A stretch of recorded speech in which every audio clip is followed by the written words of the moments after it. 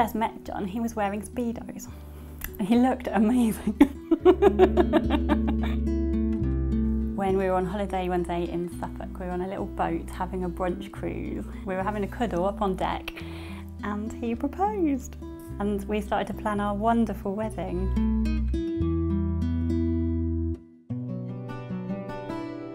When John called me on Christmas morning, he said he was driving himself to hospital.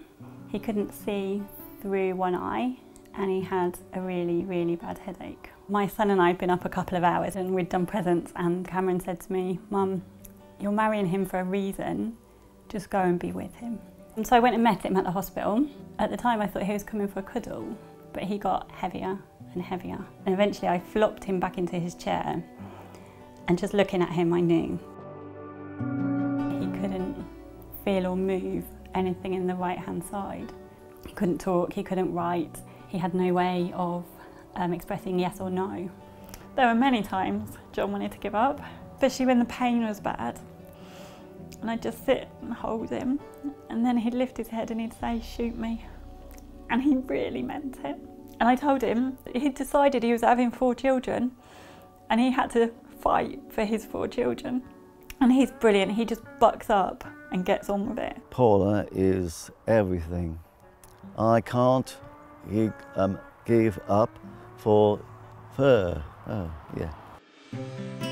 John's attitude, it can't be beaten. I do remember sat in physio one lunchtime and one of the physios, she's yelling at him, John, it is your leg, own it. And she's yelling at the top of her voice. And then all of a sudden she says, that's it and he'd done it. He'd activated his thigh muscle when he was standing on his own. Communication wise, it's been slow. We got the word yes within the first few weeks and the word no. I know what I want to say, but the words can't. I can't remember a decision that we were still going to get married on the 1st of June. I think I might have just carried on as planned.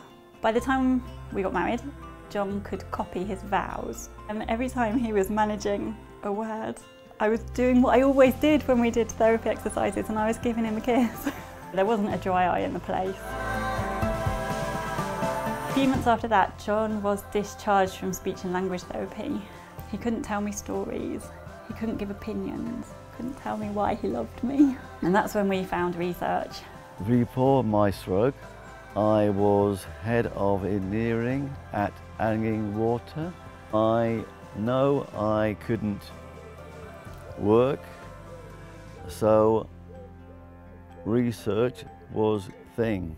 John's taken part in maybe a dozen research projects and he wants to help. These, these people are the future of stroke recovery and if John can help by being a bit of a guinea pig now, it's worth it for our children.